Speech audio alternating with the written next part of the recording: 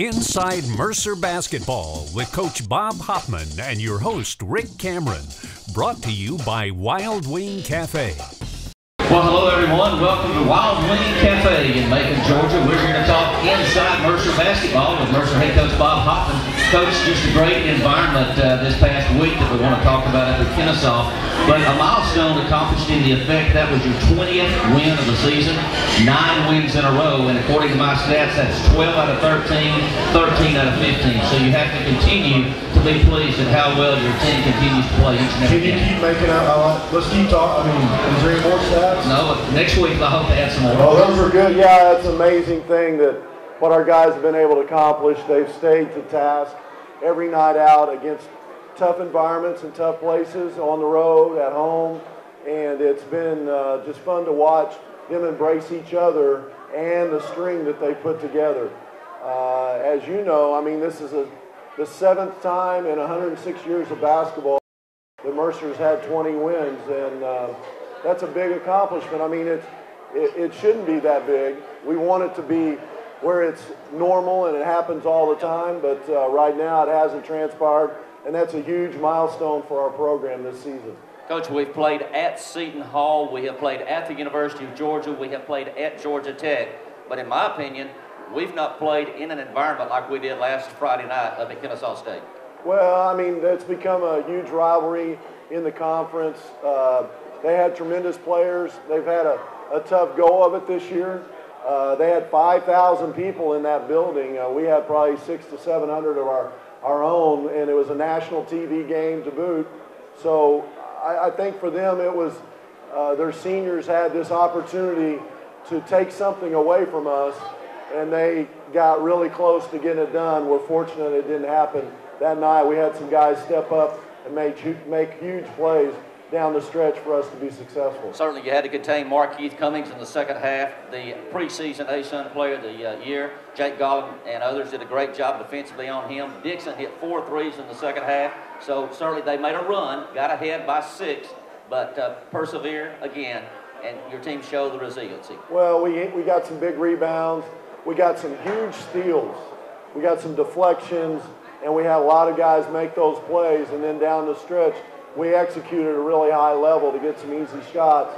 And I, and I, you know, it was just one of those things. To, uh, you know, you're in the midst of it. You're trying to think of things we need to run. How can we get a better shot? And the guys would make a play, and we were able to get it, get, get it accomplished through their play and their execution down the stretch. Now, one advantage you've had in just about every game this year, depth coach, you've been playing a lot of guys, but technically you had four guys not at full speed for various reasons on Friday night. So you had to have a few players give you a lot of quality minutes. Yeah, Kevin Canevari was coming back from uh, injury, was hospitalized with eye. It's a lot better. He could have played.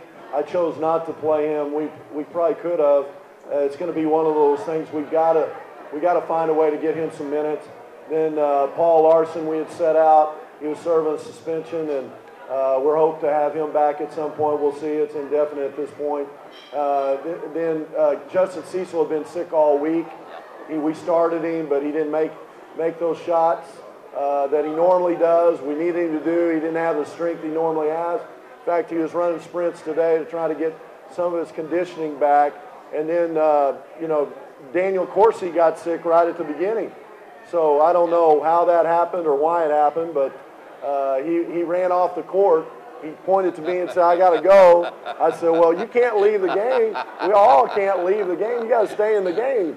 Uh, but he took off to the locker room, and uh, Amos Mansfield, our trainer, looked at me. Why didn't you tell me what was going on? I said, I didn't know what was going on. I didn't know where he was going. I didn't know what he was doing.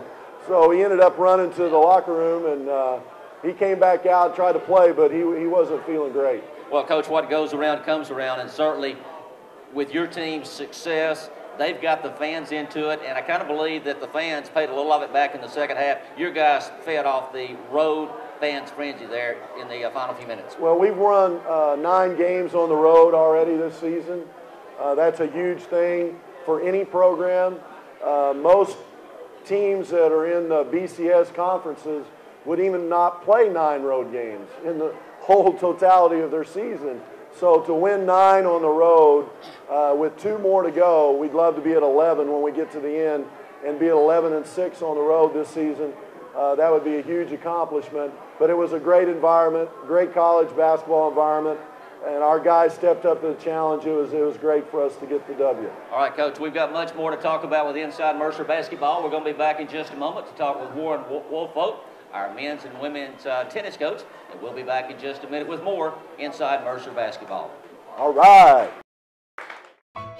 As a business owner, you need to choose the financial direction that's best for you to find a clear path to growth and success. At BB&T, we support businesses of all sizes with personal service and advice, sharing the sound financial knowledge we've gained over more than 140 years so you can move ahead with confidence. Talk to us today about your business goals. BB&T, sharing knowledge for a brighter direction.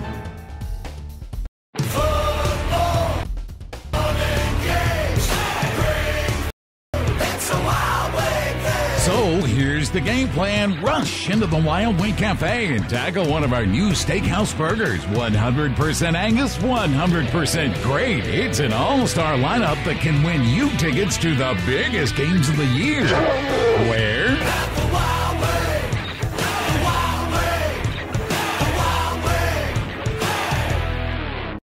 I have purchased uh, five Jeeps here at Five Star and my sister-in-law from Florida actually came up and purchased a Jeep here. The way you're treated, the uh, satisfaction, the service, just overall good experience.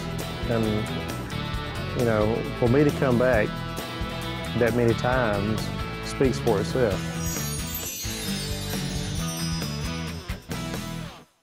Hi, I'm Bob Hoffman, head men's basketball coach at Mercer University. And we got a great opportunity for your son to come to basketball camp and learn how to play the game at a high level. June 11th through the 14th and June 24th through the 27th is an overnight camp. And you can find out more information at bobhoffmanhoops.com or 478-301-5211.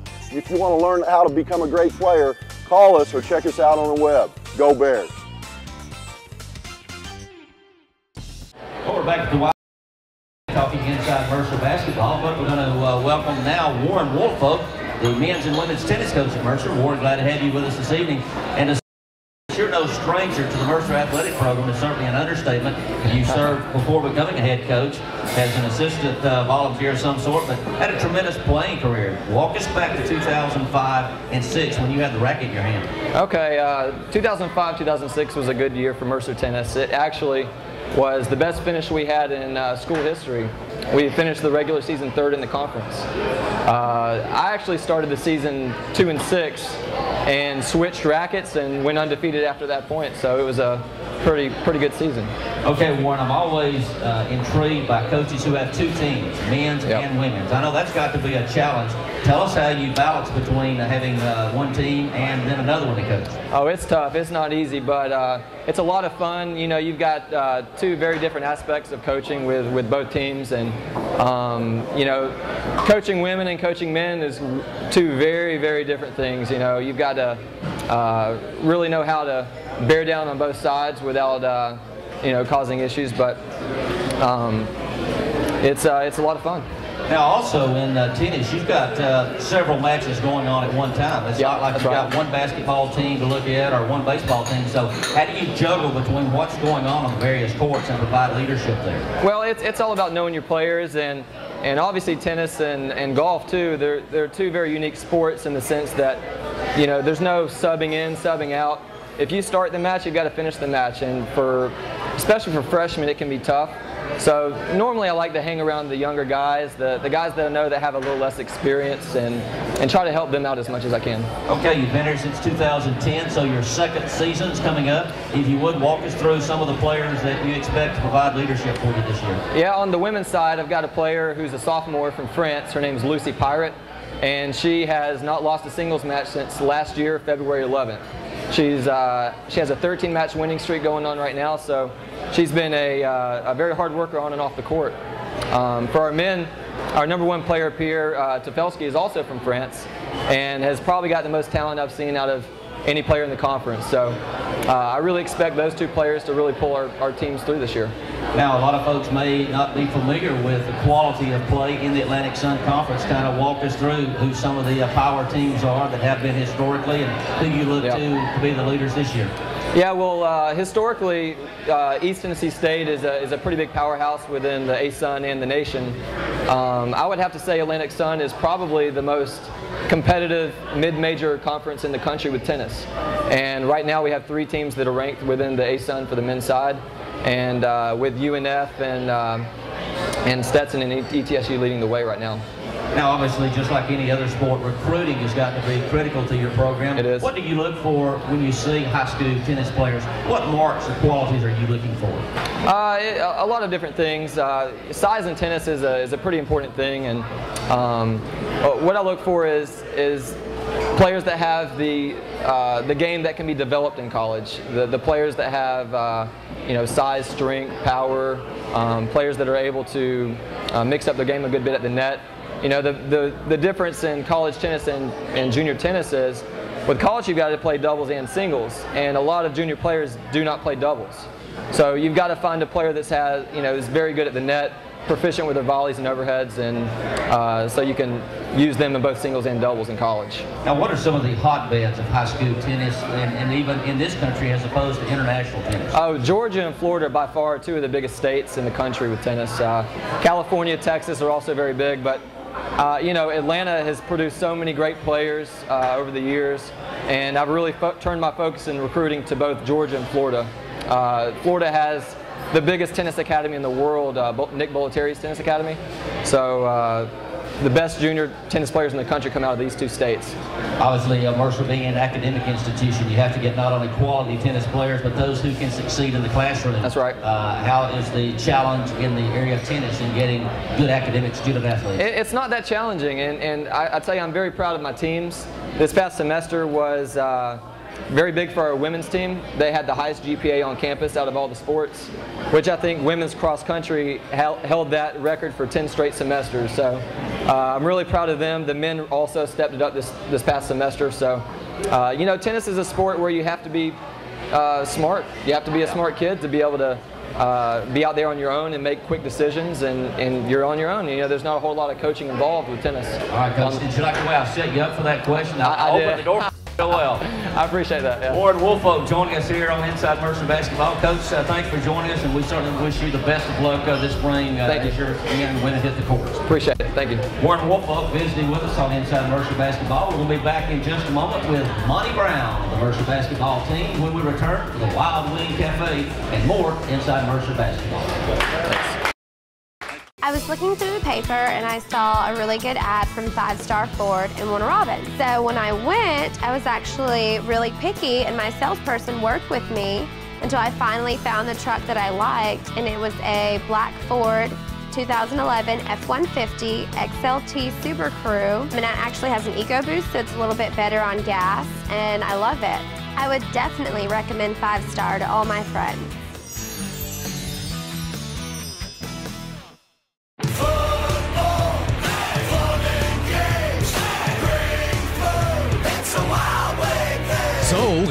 The game plan. Rush into the Wild Wing Cafe and tackle one of our new steakhouse burgers. 100% Angus, 100% great. It's an all-star lineup that can win you tickets to the biggest games of the year. Where?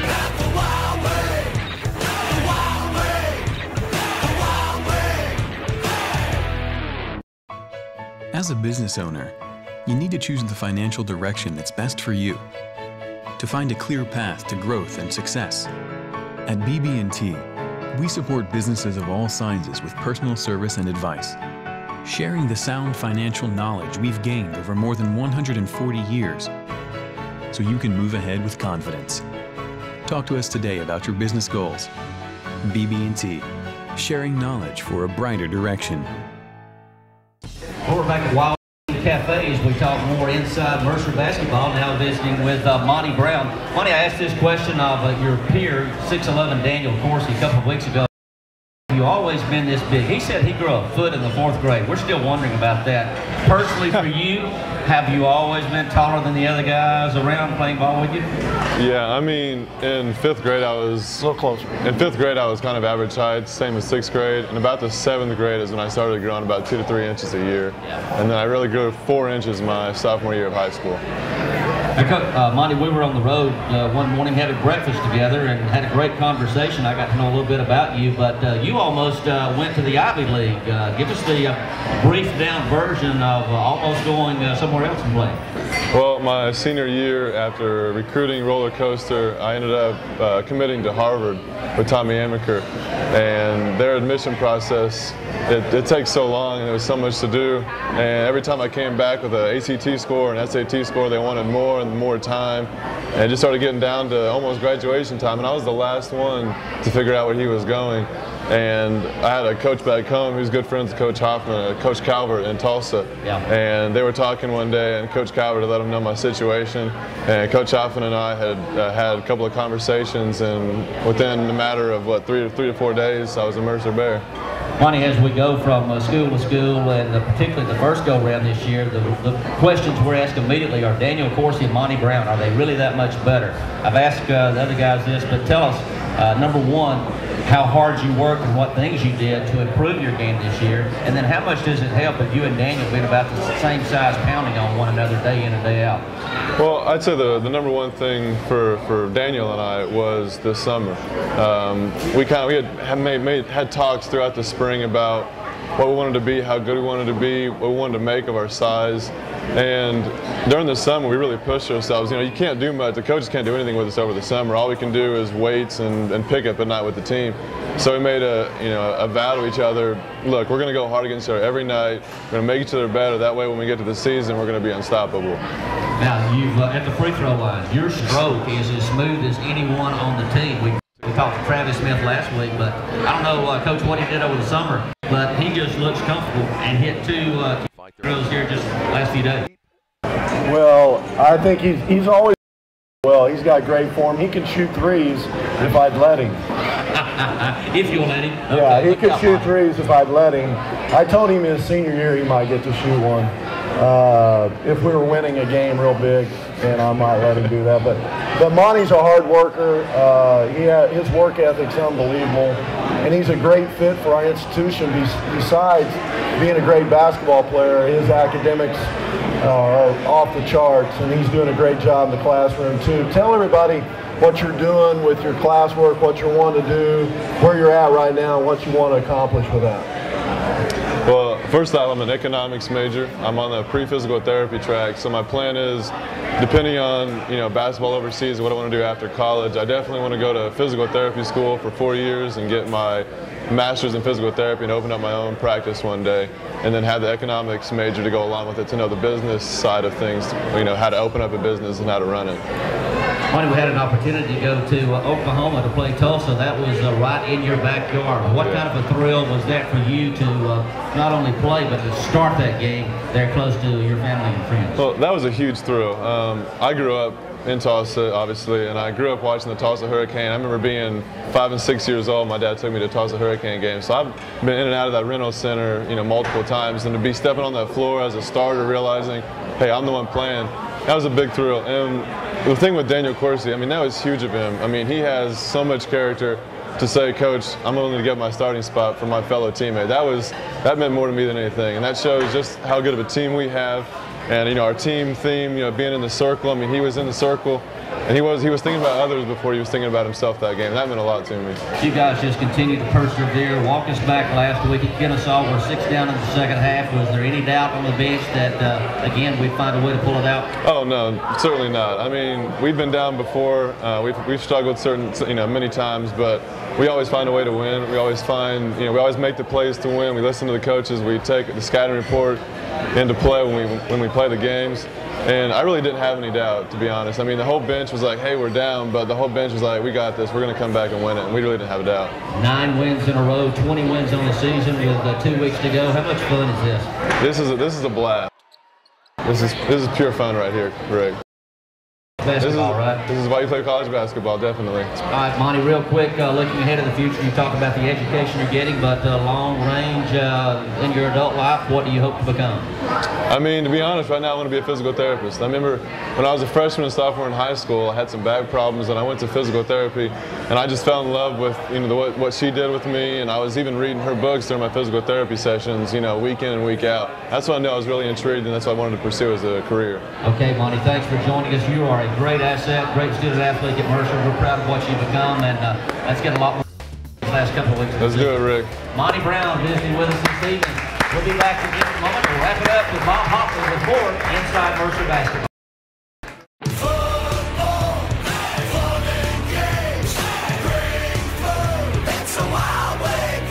Here's the game plan. Rush into the Wild Wing Cafe and tackle one of our new steakhouse burgers. 100% Angus, 100% great. It's an all-star lineup that can win you tickets to the biggest games of the year. Where?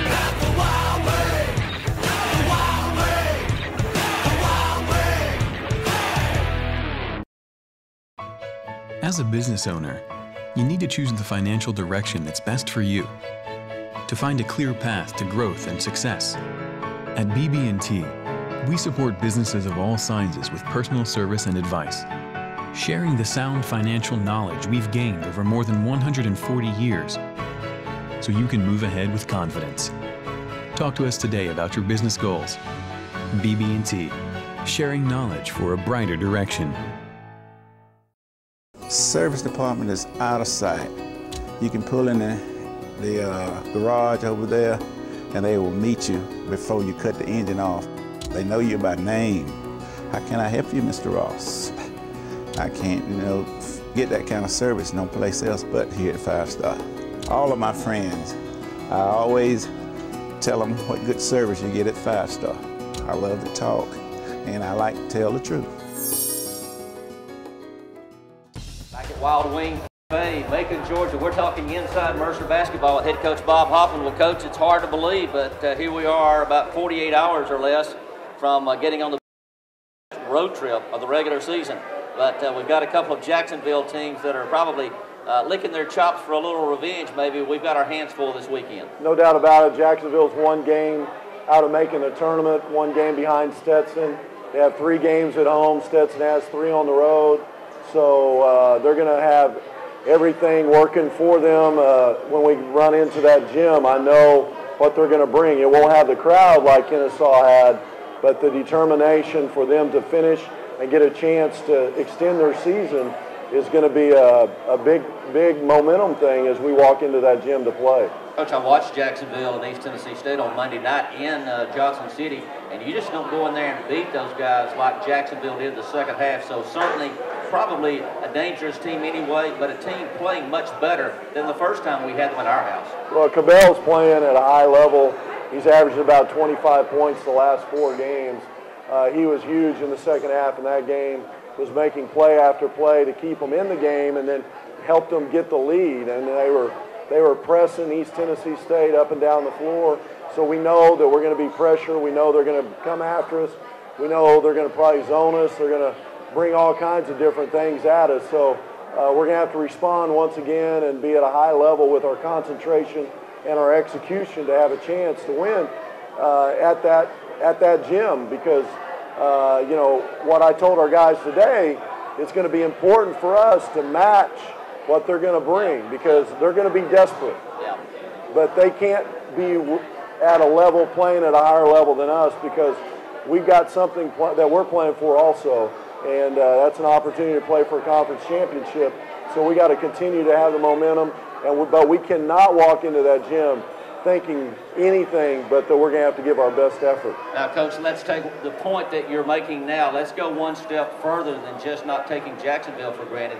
Your team justifiably is getting some recognition. You've got uh, votes in the mid-majors and now even a early bracket out there showing you in the tournament. How hard is it now not to be distracted by that? We've not really had that problem the last couple of years, but how do we keep from becoming distracted about things that aren't within grasp yet? Well, I hope we have that distraction every year because that means uh, we're we're playing for something fantastic, and we're getting a chance to compete at a high level in our conference, and that means other people are recognizing what our guys are doing collectively uh, right now, and uh, you can't focus on those things. In fact, I told our young men we've got to make the circle even tighter right now. It's almost like if you're on a losing streak and everybody's pointing fingers and trying to tell you what you should be doing. It's the same way right now. We're on a winning streak, and we got to make sure our focus is on preparation for the games, preparation for continuing to get better as an individual and a team. And I, that's what we've talked about. That's what we can't listen to folks outside the circle or patting us on the back, telling us how good stuff is going. You've got to continue to finish this thing right. We only have a few weeks left. It's not time to get away from what we've done right.